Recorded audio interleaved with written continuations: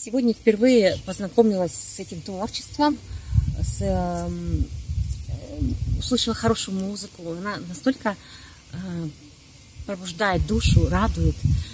И хочется под ней прям танцевать. Очень впечатляет.